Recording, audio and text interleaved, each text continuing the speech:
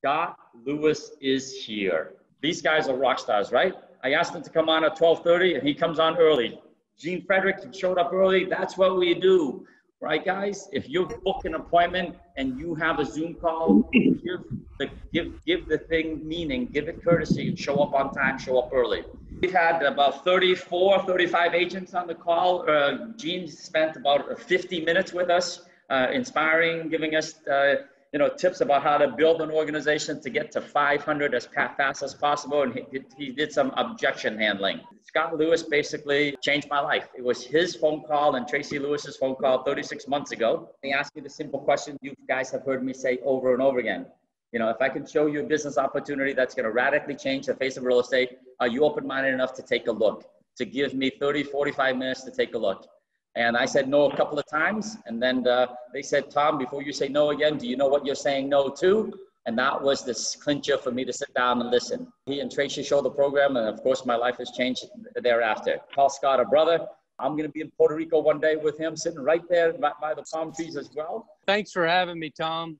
And uh, man, it's always great to see you and your team. And, you know, I, I, I just see how fast your team is exploding you know, one of the fastest growing teams in the country. I see Lisa on here. I know Lisa's been crushing it lately, adding new people uh, on her team. You guys think we don't see what you're doing, but trust me, we see and know. Uh, we, we see what's happening out there. We know who's building and who's not. And, uh, you know, we, we get all kinds of alerts and information. So, how do you get to 500 agents? That's the question, right? That, that's why, you know, uh, that was my goal. You know, when I saw this, just so you know, uh, Rob and I, I joined. I like to say I joined before Rob Flick, even though he's my sponsor. I think that's what keeps this thing going so well. Is is our leadership is all incredibly humble, and it's all about just inspiring others. I mean, how much money can you spend, right? I mean, at some point, it's about giving back, and it's about helping other agents. And uh, so, you know, who on here wants to, to have 500 agents on their team?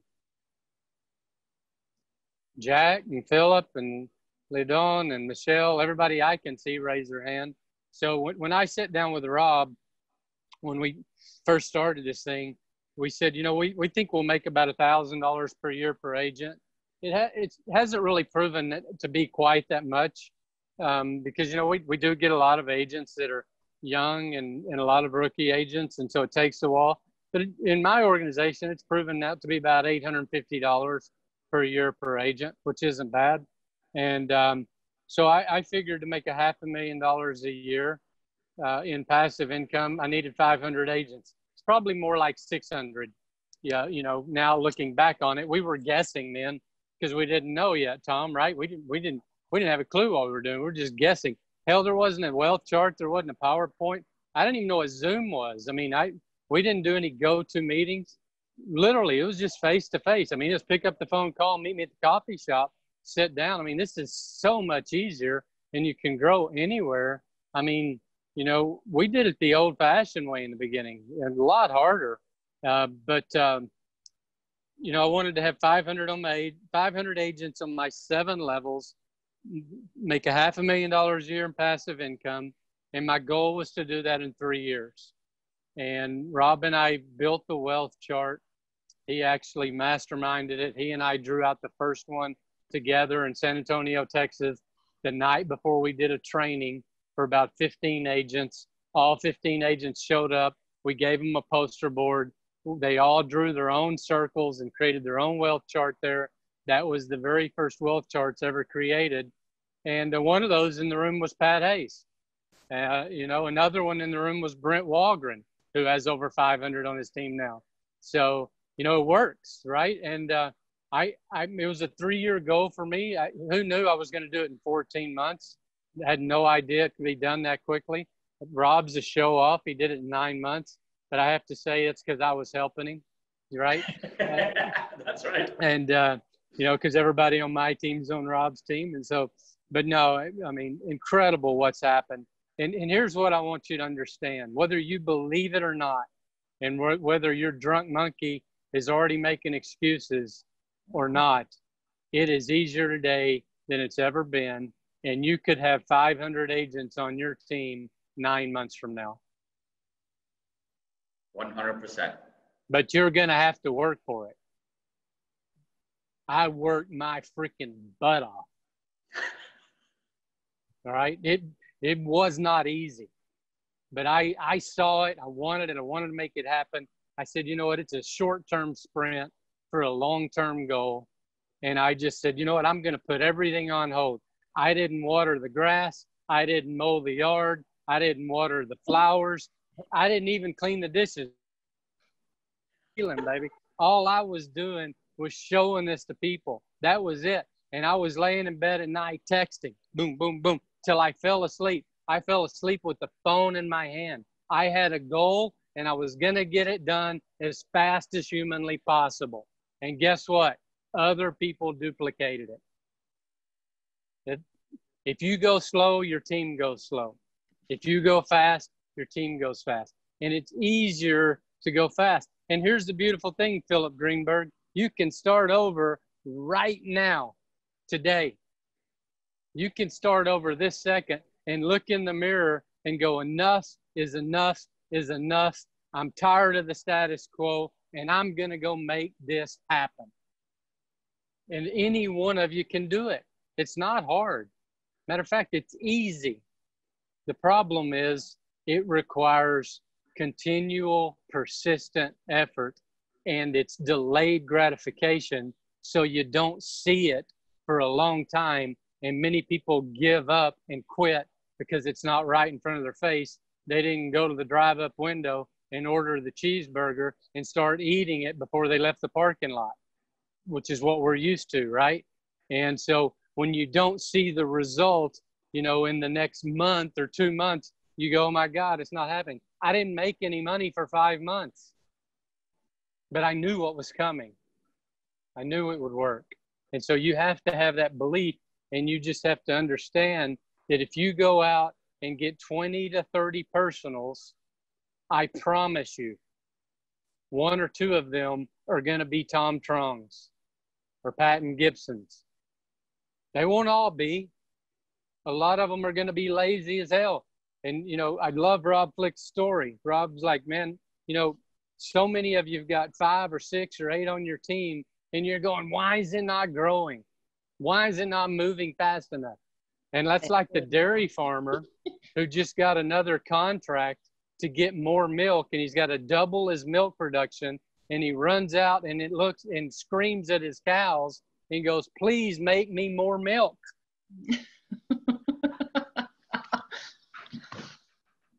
it's the same thing you you own the only way you get more agents is you just keep go getting personals.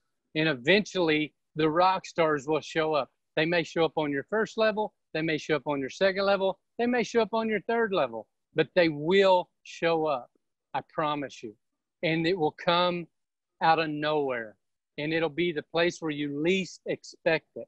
That is god testing your faith the work rarely comes where you're putting in the result, but it always comes to those who put in the effort. It's just the law of the land, right? And so you have to have faith. You have to believe. And you just, in the beginning, I will tell you the first six months to nine months, we were brand new. There were 600 agents in the country. We were a penny stock. Everybody thought we were stupid no one, there was no proof, no one to point at and go, hey, this guy's making $750,000 a month in revenue share. Are you kidding me? I heard that maybe one guy was making 5,000 a month, but I couldn't even get him on the phone to prove it. We had nothing. You understand? Nothing to prove it. Yet we believed in it so strongly that we were able to convince people to do it. They just weren't producing agents. They were a bunch of deadbeats and a bunch of rookies. None of them did squat. They didn't sell anything. I couldn't get a producer to even pick up the phone and talk about EXP. They'd Google it and it's like, no, no, no, no, not interested. So I said, you know what? I've got to create some energy. I've got to create some excitement. How did I do that? I just recruited anybody that had a license. And then I was able to say, we got eight people. We got 12 people. We got 25 people. We got 50 people. Oh my God, we got a capper. Yeah, baby. Right? Like a capper. Forget icon. There's no way we're getting an icon out. We could have put all their production together and not got an icon. Are you kidding me? There was no way that was going to happen. We had a capper out of 60 agents. I didn't care. I was just getting numbers because I knew people would show up. Now, I did get Pat Hayes early, right? Pat was a producer. So, you know, and then I started getting a few more producers and, you know, and then producers started showing up. And then some of our people started producing and learning how to sell. And then we all of a sudden we started getting some legs and getting some energy, but we, still we had to go out of town. Nobody in our own town would listen to us, right? So we'd go out of town and say, "Oh, we got 60 agents in San Antonio." They didn't know none of them sold a house, right? But it didn't matter because we had 60 agents in San Antonio. You think I'm kidding? I'm not making this shit up. This is real, right? It's all about your belief. Do you believe you can do it? And if you believe you can do it, you will do it. And if you don't, it's not going to happen. I had a belief I was going to make this happen if it hair lipped the governor. I didn't care. I was going to get it done. And when I'm pouring into you in my heart and soul right now, I don't care if any of you do it. It isn't going to affect my income. You understand, I'm going to have 30,000 agents on my team if every single one of you quits tomorrow. I don't care because I'm going to get it done. But I want you to have it for you because I care about you. And I love Tom Truong, and he's my brother, and I'll go to my grave fighting for him, and I'll go to my grave fighting for you and fighting for the agent that wants to have the God given right to have financial freedom. And any single one of you can have it. And your kids deserve it, and your family deserves it. Go make it happen and stop making excuses. Forget about the scripts. Forget about all the this and the that and the do's and the don'ts and the how to and where to go get it. Forget about it. Just go do it. Pick up the phone and make the phone calls. If you make the phone calls and invite the people and you're excited, they'll go, Oh my God, that lady's crazy. I want to know what she's smoking. And they'll show up just to see. But you're all looking for the perfect scenario. I got to have this right. My wealth chart's got to be perfect. I got to have the perfect script. I got to have the perfect list. I guarantee you, every single one of you on this call, including you, Tom Truong, have got people on your list that you haven't called yet because you're scared. And you're drunk monkey sitting there going, Oh my God, what are you scared of? I'm not going to give you the results you deserve because you're scared. Pick up the phone and call them before I do. It's not hard, guys. The only challenge is this. This is it. If you win this, you win. If you decide you're going to make it happen, it will happen for any one of you. You've got people that love you and care about you and support you and that will go to the end of the earth fighting for you if you just get out there and stop making excuses and do it. Some of you are pretending to be busy. Stop. The only person you're fooling is you because no one else cares. Honestly, you're the only one that matters. And if you don't put you first, you're never going to get it. Tom's not going to do it for you. He will do it with you. And if you run, he'll run beside you and he'll show you the way, but he's not going to do it for you. You've got to do it. And you just have to make it a decision. Now, are there some secrets I can share with you to make it easier and to make it grow faster? Yes. But at the end of the day, if you haven't decided to make it happen, none of that matters. When are you going to decide? Seriously, when are you going to decide? Because you haven't decided yet, or you'd already have a lot more people on your team. Now, you've made a decision to be here today because obviously something's going on in your life and you think, man, I'm missing out, or this is a big priority now. Maybe something happened. You know, there's a lot of, you know, I, I'm just talking to my assistant, John Rozak. He's been with me for years. and he's literally taking his mom to the hospital right now. And it doesn't look like she's going to make it. So your prayers would be really appreciated, right? A lot of people are hurting. You're not hurting right now because you're sitting on this call. So get something done and built before you are and before you really, really need it. How many of you have kids? How many of your kids are taken care of if you can't work? Okay. Some of you, yes. Some of you, no. And if that's not your hot button, what is your hot button? You know, it's going to take something to drive you. It's going to take something to get past the nose. It's going to take something to get past the delayed gratification, the delay from the time you do the effort to the time you do the you get the result. Because what happens is you get off of this phone call, you get excited, you go out and you do this for a week, and you go, oh man, no one's even joined yet. And then you half-ass it for week two, and you go, still don't have anybody. And then you really slow down in week three. You oh my God, now I got been doing this for three weeks and I don't have anything to show for it. And the drunk monkey just beat you. It takes time to get the momentum going. How many of you have ever built a snowman? Imagine the snowman that you're building right now, and the snow is not very sticky. In the beginning, you're trying to press the snow together, and it's just falling apart. It's like, oh my God, because it's got to get wet, right? If it's really dry, then it just crumbles. But eventually, you pound it and you pack it and you pack it and you go, oh my God, I got enough where I could, and you roll it over and you didn't see it, but there was a weed in the grass and the weed got in there and it got between your snow and it fell all apart again. You go, oh my God, I got to start over. and you got nothing to show for it, but still a bunch of snow. There's agents everywhere, but none of them on your team. And then you look in the neighbor's yard and they got a huge snowman. The Tom Truong snowman is 15 foot tall. Oh my God, how did he do that? I got all this snow, but I got no snowballs. And so you start packing again. Don't quit. Don't look around. Don't try to be like someone else.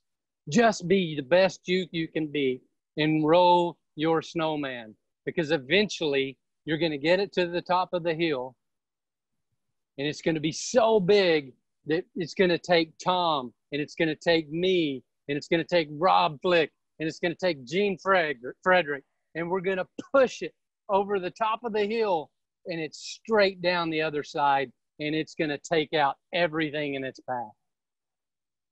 And two, three, four, five hundred agents are going to be joining your team every single month, whether you show it to a single soul or not. It's easy to look around and go, oh my God, I'm not Brent Gove, or I'm not Tom Truong, or I didn't have Tom's network, or I didn't have Gene Frederick's network, or I, you know, I don't have Rob's charisma, you know, or I'm not crazy like Scott, you know, what, whatever. It's easy to look around and, and, and beat yourself up and go, um, maybe I don't have what it takes. But the truth is, you do. Every one of you do. And you say, well, you know, when are you going to talk about how to? I'm just telling you, I didn't know how to build this in the beginning. I didn't know what to do. I didn't know who to call. I didn't know what to say. I didn't have a PowerPoint. I didn't have any testimonials. We'd never done a lunch and learn. We, we, God forbid, showing it to three people at once in a presentation. That would have scared the heck out of me, you know. But you know, I was good at one on ones and I was good at getting people on the phone and I had a dream and I just kept sharing it over and over and over again. And it didn't matter what they said, I didn't hear it unless it was a yes. So I may have got some no's. I just don't remember any of them. I don't. I don't remember any of them. I remember people telling me to call them back or to follow back up with me. And sometimes I did, sometimes I didn't a, a lot of times, you know, there are hundreds of people across the country that I showed this to that are on somebody else's team. And that's something else. That's going to happen to you. Stop whining, get over it. Build a big enough team where you start getting some of those. You're going to lose some people. I've lost hundreds. In the meantime, I've got thousands. Why are you worried about one person? If that person decides to join under somebody else, they didn't deserve you. And they weren't part of part of God's purpose for you in your life. So go get someone else. That doesn't mean you don't fight for everybody. You fight. You fight until you lose. And then you get up and you fight again. And you just keep going. But it, I I'm not going to sit here and tell you it's easy. It's simple. It's really simple. It's just a matter of showing it to people. It's a numbers game. That's all this is. It is simply just numbers. Now, I don't know what your numbers are, but I can tell you they're not as good today as they will be two or three years from now. What do I mean by that? You may have to show it to 20 to get one now. I get two, I get one out of two now. If I if I really take the time, I don't have that much time to show it to one individuals that much anymore like I used to, but I get 50% of them immediately. In the beginning, are you kidding me?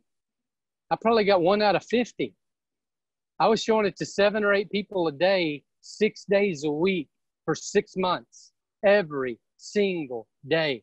I had a stack of, of, of um, what do you call them? Um, note paper. Notepad. This tall, this tall in the corner of my uh, house, in the corner, from front to back, legal pad, where I'd showed it to person after person after person and I put their name and date on it. I still have them. I looked back the other day, out of the probably three or 400 people in there, I think 10 of them joined under me. Wasn't very good numbers, but I found the people I needed to find to build and grow. It's a whole lot easier today. I just got off the phone with a team in Portugal. They've got 370 agents. Looks like they're going to join. Are you kidding me? it took me a year and a half to get 300 uh, well not really it took me it took me 11 13 months to get 300 agents it's crazy but that comes by getting one and one getting two and two getting four i would just tell you the, the secret is exposures and follow up exposures and follow up exposures and follow up and get good at both. Stop trying to sell it. Stop trying to talk people into it. Stop trying, you know, don't have commission breath. You know, when you go to your, you remember the first listing appointment you did? Remember what it felt like? Were you scared? Did you get it? Probably not. Maybe one out of 20 of you did, but you did it and you got better. I will tell you this: I I was a real estate agent for one year. When I talk about a real estate agent, I'm talking about selling houses. I cold called to prove a point. I owned an office and I proved a point, and I cold called to get listings. And when I got an appointment, I carried the sign with me in the front door and I set it in their living room. And I got every single listing I ever went on. No one ever told me no because I assumed if I was going to drive my ass across town, they were going to sign a listing agreement. Now, I didn't have that good of success signing up agents. It's a little more difficult, takes a little more finesse, takes a little more time, but you will get really good at it if you do it. If you take the time to learn it, to be a professional inviter, get them on the webinars. Don't take no for an excuse. I always get three validations when I'm calling someone to get them on a phone or a webinar because I want them to understand my time is valuable. I've got so few time on this earth. I want to enjoy every second of it. And if I'm going to take my time to jump on a Zoom call, you can bet your sweet bottom dollar they're going to be there if they told me they're going to be there. And if they're not, I am burning up their cell phone. And if they don't pick up, they're like the, you know, what's his name on the Shark Tank? they're dead to me. I'm never going to call them back because they lied to me. And I don't want to be in business with someone that lies to me. Take it serious. Get, you know, can I count on you to be there? Look, I've got Tom Truong, Mr. Wonderful. Thank you. I've got Tom Truong here. Tom Truong, you know who he is? Oh my God, can you edify this guy all day long? Absolutely. He's he's taking his time to show this presentation to a couple of people. I need to know for sure because my credibility with Tom is critical. And I need to know for sure that if you tell me you're going to be there, that I can let Tom know that you're going to be there. Otherwise, let me know now. No offense taken. I just want to make sure that I don't ruin my credibility with Tom Truong. Can you can I count on you to show up if I can, if I get you on the phone or if I can get you on a webinar with the Tom Truong? Can I count on you to be there? I'll try to make it. If something doesn't come up, if something doesn't get in the way, well, you know, I got a couple things going on, but I'll do my best. I love that one. I'll do my best. Well, your best is not good enough for Tom Truong. You understand? Your best is not good enough. Can I count on you to be there? I know you're a man of your word. I know you're a woman of your word. We've worked together before. Listen, this is just real important to me. If you can't make it, that's okay. But if you if you tell me you're going to be there, then I'm going to count on you to be there, and I'm going to line Tom up. We're going to get a few minutes of his time, and we're going to show you why this business is changing people's lives. Do yourself a favor. Don't take no for an answer. And if they tell you no three times, then go call somebody else. All right, I'm going to open up for a few questions. Tom, is there anything else you want me to talk about? No, that's, I got so much out of that. Thank you very much, Scott. That's awesome. Q&A, guys, and if you got to run, we're at the end of the hour. Scott, I really appreciate you, man. Love you, man. He's always here for me. Rob, Gene, every leader. Jason Gesing, they're always here. You know why? It's exactly what Scott just said. I edify the living lights out of the people that I ask for their time because their time is worth so much. When you do that, you elevate the level of importance to that they, you make sure that they pay attention when they show up for the call. Questions, go ahead. I have a question. Go ahead, uh, Dave. We've talked a lot about just calling agents and not talking about EXP, just, uh, uh, you know, getting social, seeing how they're doing. Uh, and then we talk about doing one-on-ones. Tom, you, your preferred method is just one-on-one. Uh, what's been the most uh, uh common bridge lately, uh, especially in this environment, and everybody knows about EXP now? You're talking to them, you're social, and then you're getting to a one-on-one meeting. So how is that bridged most commonly? I can tell you, I, I um, Rob and I every Thursday we do an EXP explain. It's open for anyone on the team um, by the way, Saturday morning, I'm doing a revenue share training again. I do it every other Saturday, or someone will be doing it. I'm going to do it for the second time. If you've got any new agents, including yourself, if you want to come, uh, it's in the newsletter that we send out every Saturday. But that's that's coming up Saturday morning. Um, I show them how to get leads. Show them how to make phone calls. Uh, the Thursday open um, EXP, EXP explain that Rob and I are doing this afternoon coming up at the top of the hour in, in one hour from now. I have a personal that's going to be on there. Now, I, I have two full-time assistants now. I didn't have that in the beginning. So when I've got someone interested, I give them to my assistant. I have my assistant make sure that they get on the webinar, and then I schedule a one-on-one phone call with them right after the webinar. So as soon as that webinar is over, I pick up the phone. You know, I, I rarely, matter of fact, I probably haven't shown this individually to one person in in two or three years. I mean, it just it doesn't make sense. I would do it if it, if they were a monster recruit, but you know most of them are willing to watch a video, or they're willing to get on one of the public webinars, and I you know I let that do the work for me, and then I just schedule a phone call right after. But you could have 20 people on today's webinar, right? If you if you made it a goal to get 10 to 20 people on a webinar every single week and then you followed up with those people my god and you know in, in, a year you'd have 300 people on your team right? It's just a matter of numbers and um, you know picking up the phone and, and make, making a commitment. But uh, there, there's no special sauce for follow-up. I text follow-up i don't call. Um, you know if they respond to a text then depending on what their response is, then I call them because I wait for the timing. I don't I don't want to call and then they not answer. Then you call again and they don't pick up, and then the third time it's like they're being chased, right? Even if they're busy. But a text, I can just say, hey man, you seen the XP stock lady? We just lately we just went over fifty dollars, and I was thinking about you. You know how how are your sales going? You know, it's been a while since we connected again. Last time we talked, you know, you said to follow up in a few months. Just reaching back out. How are your sales doing? You know, or did you hit that goal? You know, did you hit the 10 million you were looking for last year? How, you know, how's your business doing? Um, and they're just, and I do the same text. I've got a, I've got a reach app that I use.